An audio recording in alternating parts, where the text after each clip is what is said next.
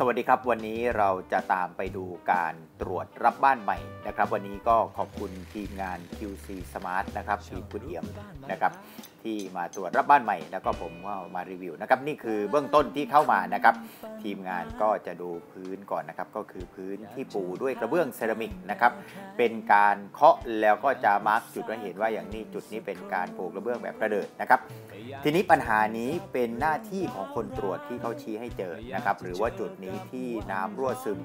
นะครับแต่ละจุดที่เจอนั้นเขาจะเขียนมาร์กไว้ให้แบบนี้ก็จริงนะครับแต่การแก้ไขปัญหานั้นขึ้นอยู่กับดุลพินิจของเจ้าของบ้านด้วยนะครับ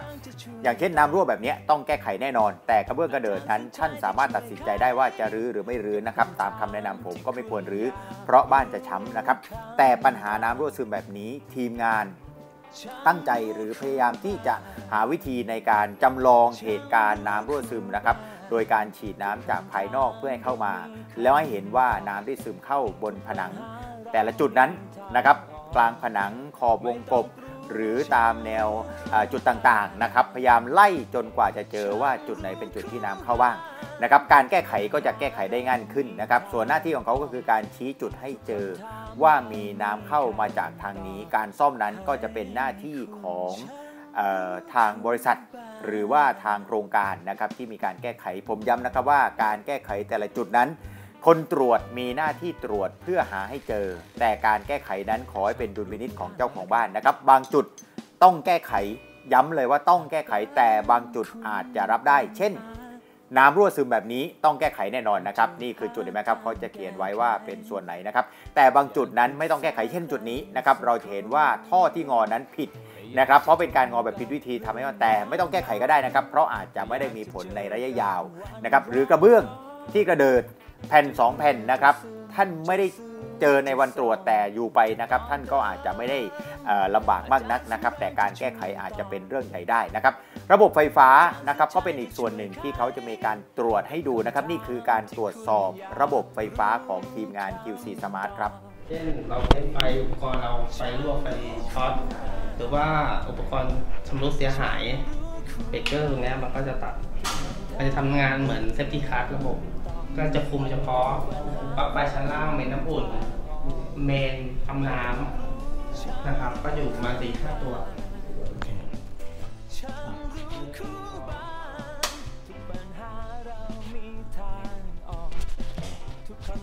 ครับจะเป็น ELCB ก็คือระบบการดูด มันจะควบคุมก็คือจะมีปลั๊กชั้นล่าง เมนน้ำอุ่น ก็เมนปั๊มน้ำจะมีอยู่ประมาณ 5 ตัว แล้วจะมีช่องว่างอยู่ประมาณ 3 ตัวเอาไว้ให้ลูกค้าเพิ่มเติมอย่างเช่น เราจะต่อเพิ่มเติมห้องครัวด้านหลังอะไรเงี้ยครับเขาจะมีเบรกเกอร์ไว้ให้เพิ่มอีก3ตัวนะครับตัวฝั่งนี้จะเป็นเป็นสว่างชั้น1ชั้น2แล้วก็เมนแอร์ทั้งหมดจะไม่ผ่านการดูดนะครับ จากชั้น1ขึ้นมาชั้น 2 มาดูในส่วนของพื้นนะครับ พื้นข้างบนนั้นจะปูด้วยพื้นลามิเนตนะครับ สังเกตว่านี่คือการกระเดิดนะครับ หรือว่าการนูนของพื้นลามิเนต ซึ่งแก้ไขได้นะครับ อันนี้ก็ควรจะแก้ไขเพื่อเวลาเราเดินนั้นจะไม่ได้ยวบยาบยวบยาบนะครับ นี่ก็ลองดูผมใช้มือลองกดลองดูนะครับ แต่มือกดแล้วอาจจะเห็นไม่ชัดนะครับ ขออนุญาตนะครับ อาจจะไม่สุภาพคือใช้เท้าลองกดๆนะครับ อันนี้คือการจำลองสภาพการเดิน อันนี้ก็ควรจะแก้ไข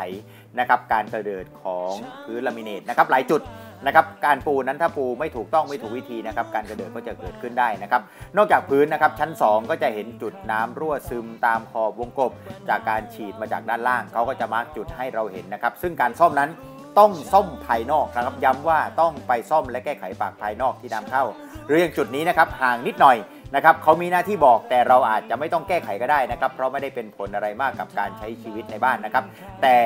จุดเหล่านี้นะครับอาจจะเรื่องการทำงานไม่เรียบร้อยนะครับหลังคาก็เป็นอีกส่วนหนึ่งที่ขึ้นไปดูนะครับ นี่เป็นส่วนหนึ่งของการขึ้นไปดูบนหลังคานะครับ เป็นการตรวจสอบระบบทั้งหมดนะครับ นี่คือส่วนหนึ่งของการทำงานของทีมงาน QC Smart หรือว่าทีมคุณเอี่ยมนะครับ ก็ขอบคุณที่